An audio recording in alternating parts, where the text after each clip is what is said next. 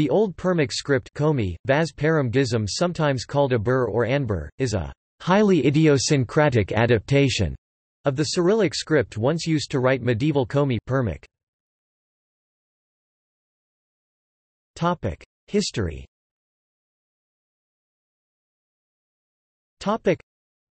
the alphabet was introduced by a Russian missionary, Stepan Khrap, also known as Saint Stephen of Perm Stepan Harapsky Stefan Permskij in 1372. The name Abur is derived from the names of the first two characters, an and Bur. The alphabet derived from Cyrillic and Greek, and Komi tamga signs, the latter being similar in the appearance to runes or siglas poveršas, because they were created by incisions, rather than by usual writing.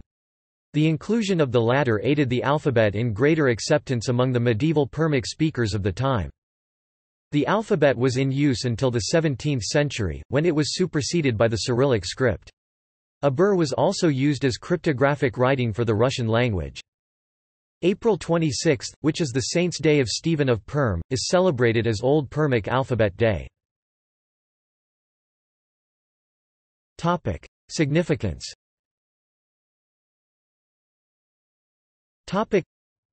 The Abur inscriptions are among the oldest relics of the Uralic languages.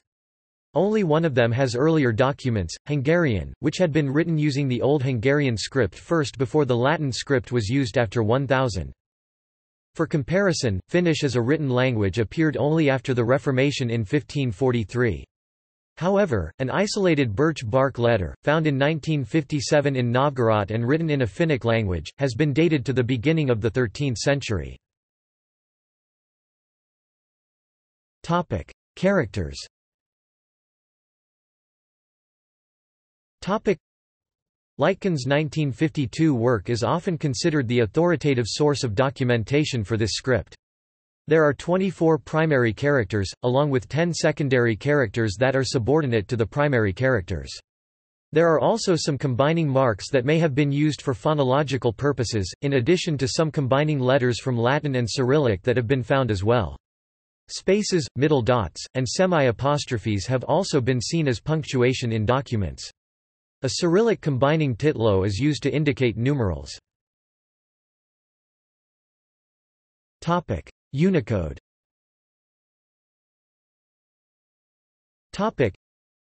the Old Permic alphabet U plus 10350-1037F was added to the Unicode standard in June 2014 with the release of version 7.0. References Topic. Topic. External links